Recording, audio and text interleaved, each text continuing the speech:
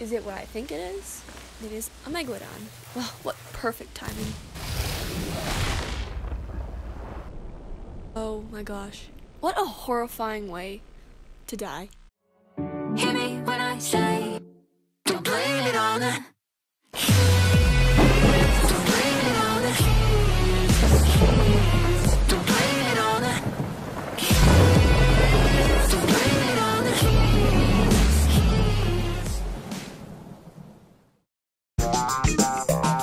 Everybody, it's Mystiquess here, and today I've decided to create my first beginner guide for Sea of Thieves. I've seen other beginner guides out there, and some of them were made a while ago before the new Shrouded Spoils update came out, so I decided that I'd make a more up to date one for you guys to see. So, as a player who hasn't been a part of the Sea of Thieves community for very long, I decided that it would be in my best interest to learn as much about the Sea of Thieves game as possible so that I can increase my skills within the game, and I want to share what I have learned with you guys so that you yourselves can begin mastering the seas once the basic knowledge has been acquired. And what I've done here is I've taken what I have learned from these wikis and sources and I've summed them all up into one informational guide.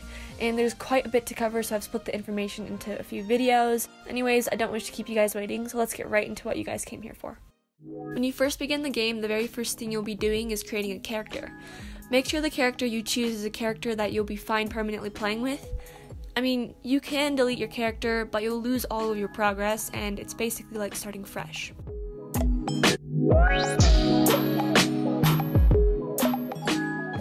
After you've chosen your character, you'll find yourself in a random outpost tavern.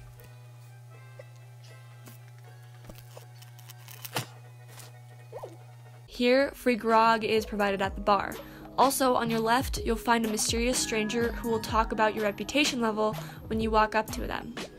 We will cover what exactly reputation means later on, and each time you reach a certain reputation level, the stranger will speak to you about it. When you exit the tavern, a variety of different shops and companies will be scattered around the island. There are four different types of shops the weaponsmith's shop, the equipment shop, the general clothing shop, and the shipwright shop. The weaponsmith's shop allows you to buy different swords, pistols, shotguns, and rifles. The equipment shop allows you to buy compasses, buckets, shovels, spyglasses, lanterns, megaphones, instruments, pocket watches, and tankards. I will later cover when the best time is to use each of these equipment and weapon items, so stay tuned for that.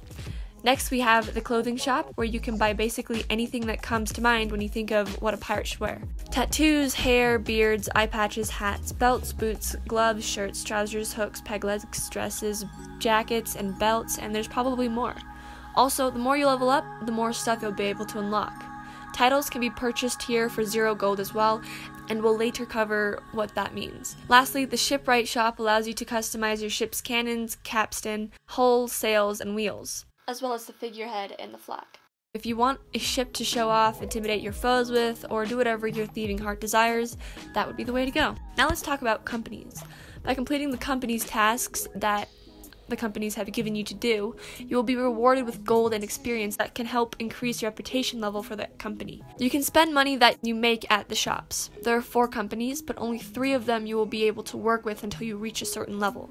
These companies are the Gold Hoarders, the Order of Souls, the Merchant Alliance, and lastly, Athena's Fortune.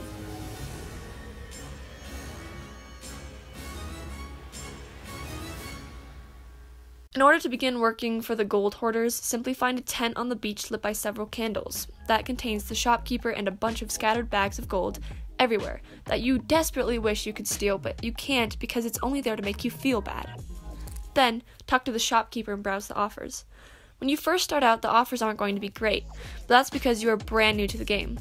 Once your reputation level goes up after you have completed more and more voyages, so will the chance of getting better voyages, traveling longer distances, which in turn means that you'll be able to get items worth a lot more, meaning more gold.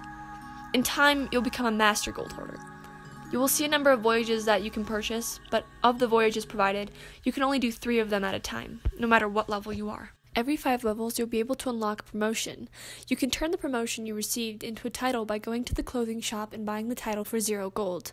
When the title is equipped, the title will be displayed under the player's name. The types of voyages that the gold hoarders provide include riddles and maps of islands. Riddles will display the map name, while maps of the islands will only display a picture of the island and not the island name. The loot that you receive from doing voyages for this company include a variety of treasure chests, and each have a different value. Sometimes you'll get lucky and stumble upon relics that can be each sold for a particular price. The reputation system works the same for each of the companies. However, the loot and tasks given are entirely different. The Order of Souls can be found in a purple tent with what appears to be an eye symbol on the purple cover. Head in and you'll find the shopkeeper. Instead of hunting for treasure, you will be completing bounties for a variety of different skeletons. And trust me, there are a variety of different skeletons. And I'll add that to my long list of things I said I'd be covering later. The loot you get from completing these tasks are a variety of different skulls, each worth something different.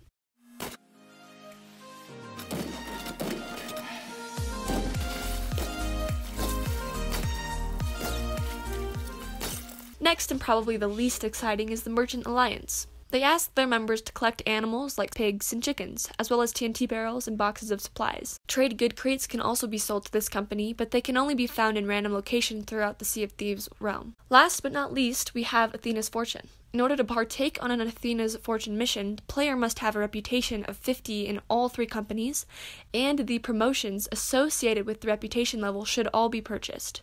That's all I'll cover for Athena's Fortune, since we are only beginners, and it's not like we're going to be reaching level 50 for all three companies anytime soon. And that sums up part 1 for our beginner's guide. In the next video, I'll show you how to navigate the seas, which is essential if you wish to get your booty off of an outpost and go search for the real booty, or be lazy like me and remain at the outpost. Spend most of your time in the tavern with your tankard, drinking away your sorrows because of your fears of the krakens and the variety of megs that could potentially demolish your ship at any point in time. Anyways, if you enjoyed the video, don't forget to show your support and stay tuned for the next guide. Thanks for watching, and I'll see you soon.